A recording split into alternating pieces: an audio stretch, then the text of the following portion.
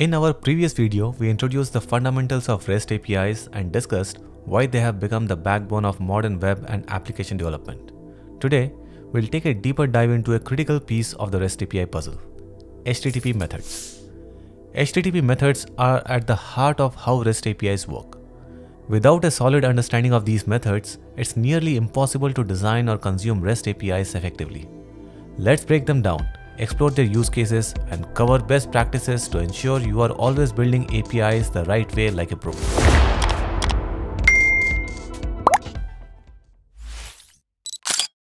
REST or representational state transfer relies on stateless communication, where each request from a client to server contains all the information needed to process it.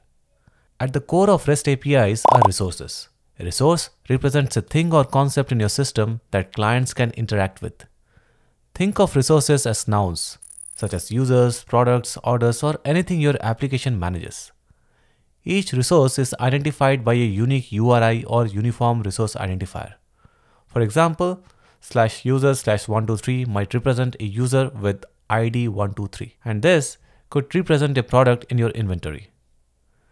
Resources are stateless, meaning all the information needed to interact with the resource is contained in the request itself. The server doesn't retain any client specific session data between requests.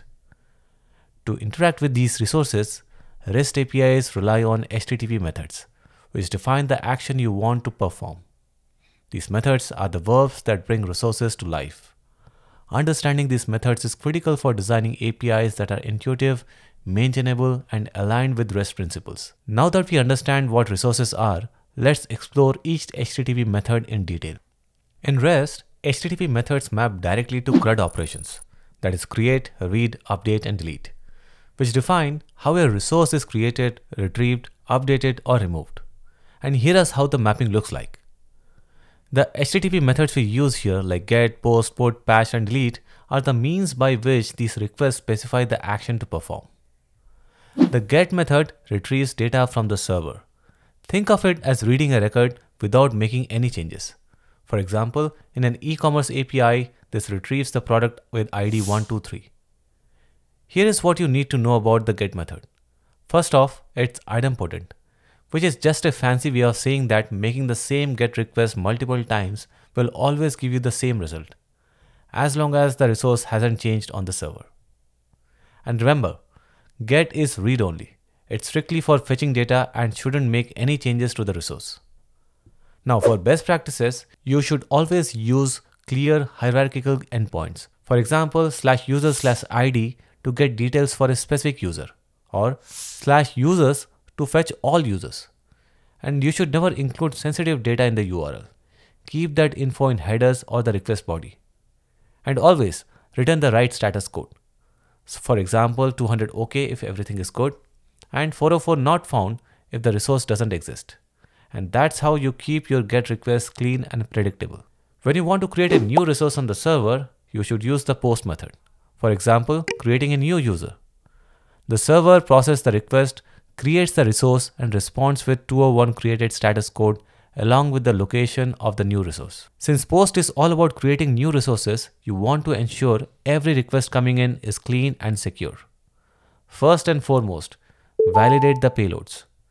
The step is critical to avoid accepting invalid or even malicious data.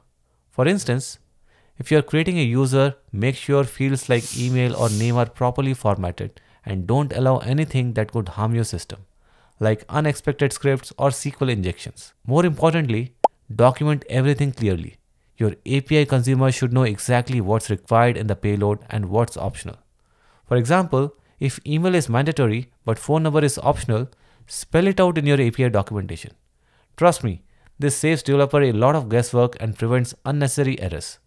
We'll talk more about documentation in my upcoming video. The put method is used to update an existing resource by replacing it entirely. If the resource doesn't exist, some APIs might also create it. Now, one of the main distinctions between put and post is the concept of idempotency.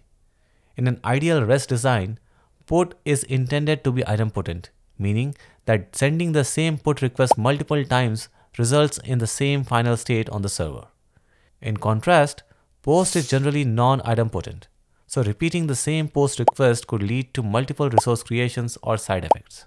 For example, updating a user's profile. The server replaces the user's profile with a new data provided. And like I earlier mentioned, there is a commonly taught textbook mapping of HTTP methods to CRUD operations. However, textbook REST always says put is for update or replace, while post is for create. Now while using put, we combine both creation and replacement under one endpoint, a pattern known as upsert.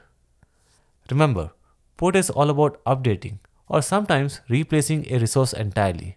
That means you have got to handle it carefully to avoid unintended consequences. So first, make sure the request includes all the required fields. And here is why. When you send a put request, you are typically replacing the entire resource. So if you leave out any fields, they might get removed from the resource altogether.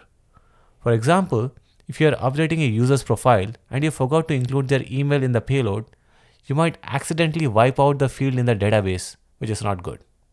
Next, don't use put for partial updates. That's a job for patch, which is designed specifically for modifying just a few fields without touching the rest of the resource. Using put for partial updates can create confusion and inconsistencies in how your API behaves. So, when you only need to modify certain attributes of a resource, use patch. Unlike put, where you replace the entire resource, patch is for making partial updates. This means if you only want to update a single field, like a user's email address, you can do just that, leaving all other fields untouched. For example, updating the email field won't touch the name, address, or any other details in the user's profile. You must also ensure partial updates don't create inconsistencies. For example, if a patch request updates a product's price but forgets to update the associated tax calculation, your data could become inconsistent. And here is a simple patch request to update the price of a product. Now, let's assume the tax is calculated as 10% of the price. If your server doesn't automatically update the tax field when the price changes, the data might look like this. And this inconsistency could cause incorrect totals, customer confusion, or reporting errors. And so, to maintain a coherent state, your server should validate and update related fields automatically. And here is how you could do it in your code example in Node.js Express Server. By designing your server logic to validate and update related fields, like recalculating taxes when the price changes, you ensure your data remains consistent and accurate. When the server updates the price and automatically recalculates the tax, the response will look like this. If the update is successful and you are returning an update resource, go with 200 OK. And if there is no additional data to send back, 204 no content is a great choice. It tells the client everything went fine without unnecessary data. Let's talk about delete method, one of the simplest but also most misunderstood HTTP methods.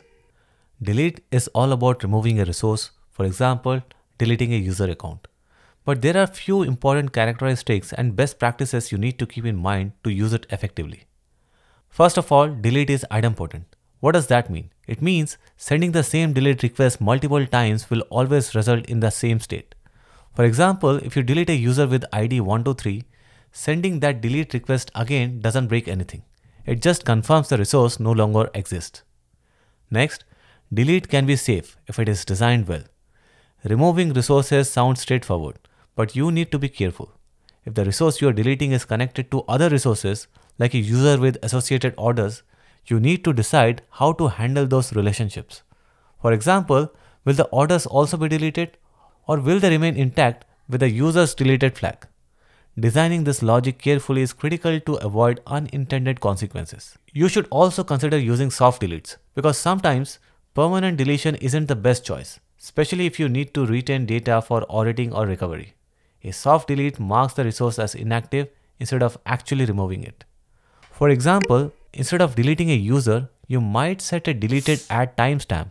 This way, the resource is gone for regular use but still exists in your database for future reference. And finally, there are other HTTP methods like head and options, but they are less commonly used in most APIs. The head method is like a lightweight version of get. It retrieves only the headers from the server, skipping the actual response body. This makes it useful when you just need to check if a resource exists or get metadata about it without downloading the entire content. So let's say you want to verify that if a file exists on the server before you download it. If the file exists, the server might respond with something like this. But there is no body in the response. You can also use head for validating content size before downloading it using the content length header. The options method is used to describe the available operations for a resource. It's often used in CORS or cross-origin resource sharing pre-flight request, where a browser asks the server what is allowed to do before even sending the actual request. And here is a simple example when a client makes an options request. The server might respond with this. This tells the client what methods are allowed and provides headers for CORS. In REST APIs, resources and HTTP methods work together to create a way for clients and servers to communicate. By using the right HTTP method for each operation and following best practices, you can ensure your APIs are clean, scalable, and maintainable. In our next video, we'll explore advanced REST API design best practices and design patterns.